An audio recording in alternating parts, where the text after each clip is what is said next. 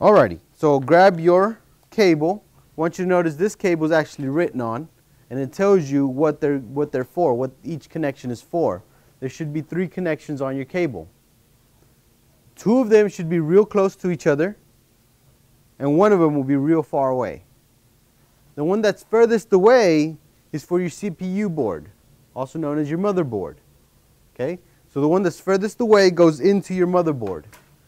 I want you to look at the IDE numbers and find IDE 1 and plug this into IDE 1.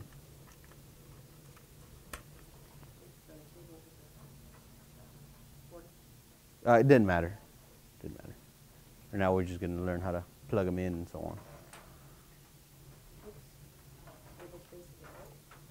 Uh, there's only one way that it goes, that it goes in. I'm explaining in a minute. But all your cables should have the little key on it, this little indentation on it.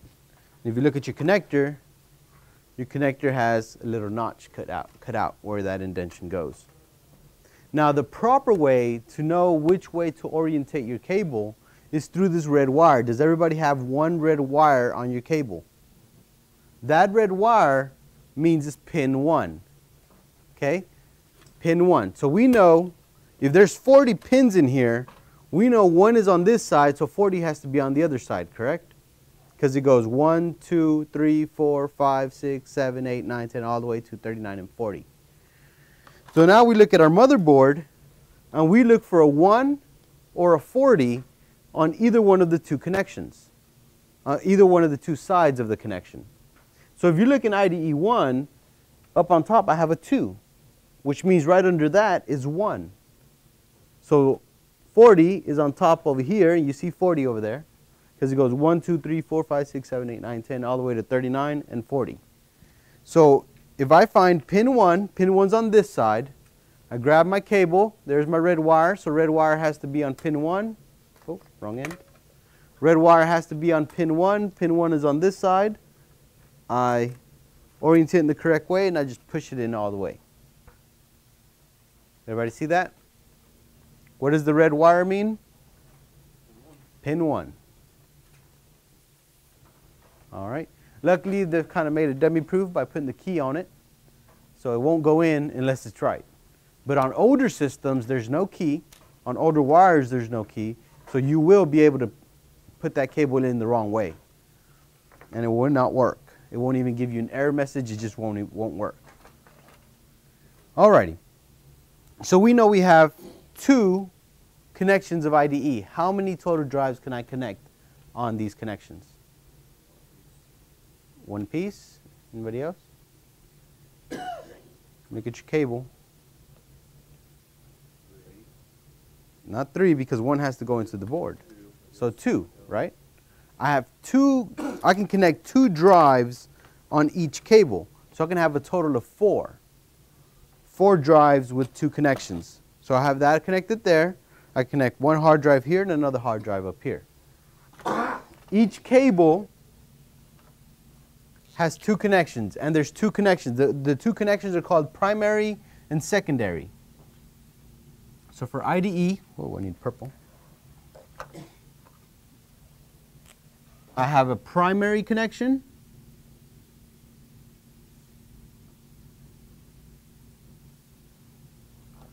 And then I have a secondary connection.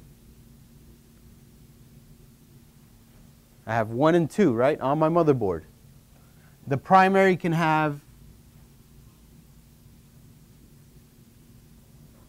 a master and a slave, two connections, and the secondary can have a master and a slave.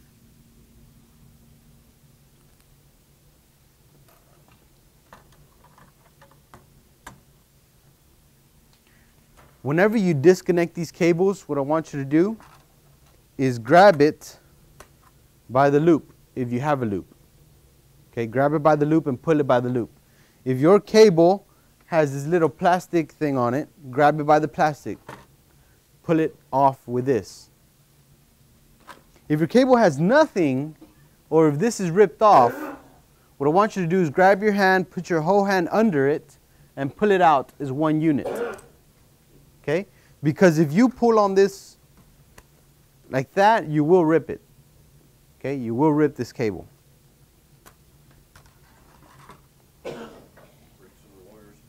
Or, or break the wire. But I'm talking about you will actually rip it. so, alrighty. So I'm to pass around a couple of IDE hard drives. All drives have two connections.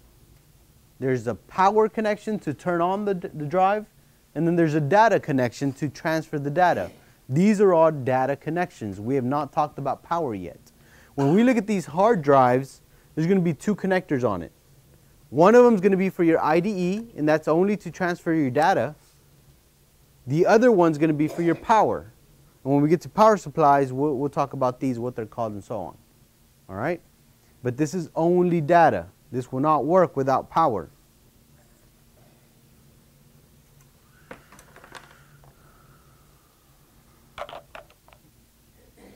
Here, along, please. All right, so everybody has a hard drive, an IDE hard drive, correct? All right, so let's go ahead and plug in our cable here. And the other one will go to our motherboard. Okay? Very simple connection, right? On your hard drive, you also have an orientation. Um, a newer hard drives will have the indentation for the key so that it, goes in correctly. But if you look at the bottom, you will find jumper 1 and jumper 40 on it. Jumper 1 is for what?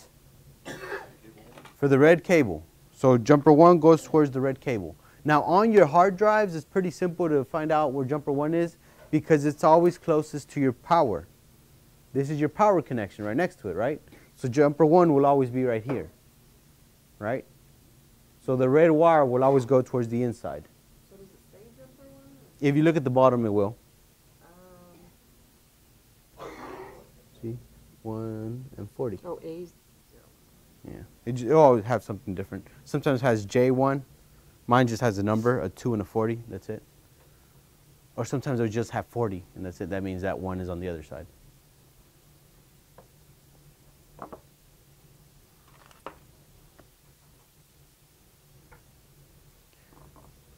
Any questions so far with IDE?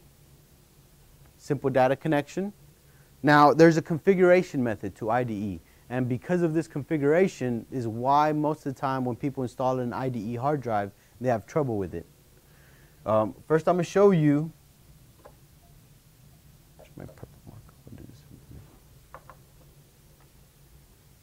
The abbreviation for master would be MA.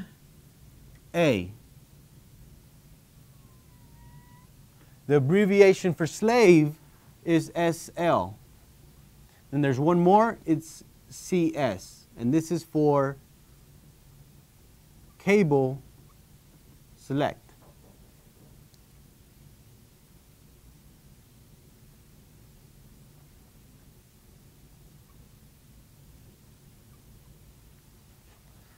This is for something called jumper settings.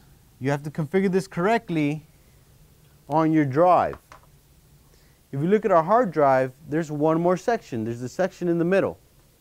Okay? And then there's a little piece of plastic stuck in there. If you can, try to pull that little plastic out with your hand, just like so. If you can't, let me know and I'll let you borrow some tweezers or a knife.